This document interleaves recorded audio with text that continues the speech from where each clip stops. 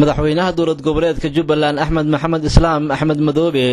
oo saxaafadda la hadlay ayaa ka tacsiiyey dadkii ku waxyeeloobay qaraxii iyo weerarkii argagixiso ee lagu qaaday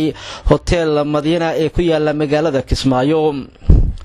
madaxweyne ayaa waxa uu sheegay in lix iyo labaatan qof ay ku dhinteen weerarkaasi halka lix iyo konton kalena ay ku dhaawacmeen isaga oona carabka ku dhuftay in dadkii ku dhintay ay ku jireen qaar haystay jinsiyadaha dalal kale. Madaxweyne axmed madoobe ayaa waxa uu sheegay in dadkii ku dhintay ay ka mid ahaayeen saddex qof oo haystay jinsiyadda waddanka kenya hal qof oo kanadiyaan ahaa hal qof oo haystay dhalashada waddanka ingiriiska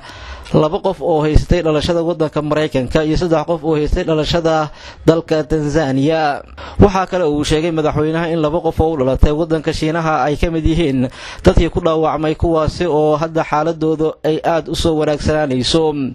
Axmed madoobe ayaa si gaara waxa uu tacsi ugu diray eheladii ay ka baxeen xildhibaan hore haddana ahaa musharaxa u tartamaya xilka madaxweynenimo ee jubbaland xildhibaan shuuriya oo ka mid ahaa dadkii ku geeriyooday.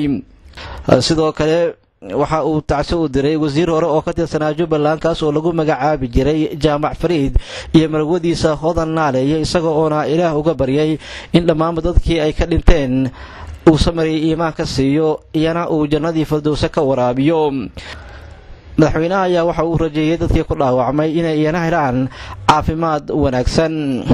Madaxweynaha dowlad goboleedka jubbaland axmed madoobe ayaa waxa uu sheegay in kooxda weerarka soo qaaday ay ahaayeen afar qof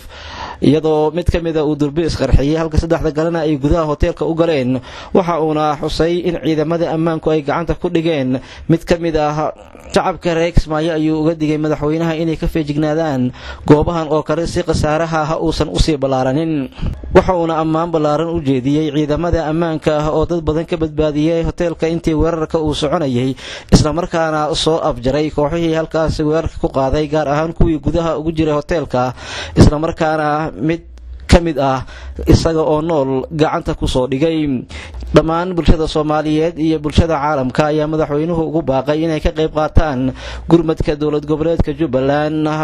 ugu fidinayso dadka ay waxyeeladu ka soo gaartay isagoona uga mahad celiyey dowladda iyo dhammaanba dhinacyadii la qaybsaday reer jubbaland tiiranyadaasi madaxweynaha dowladda soomaaliya iyo sidoo kale qaramada midoobe ayaa si isku mida u cambaareeyey weerarkii lagu qaaday hotel ku yaalla magaalada kismaayo kaasi oo dhacay gelinkii dambe ee maalintii shalay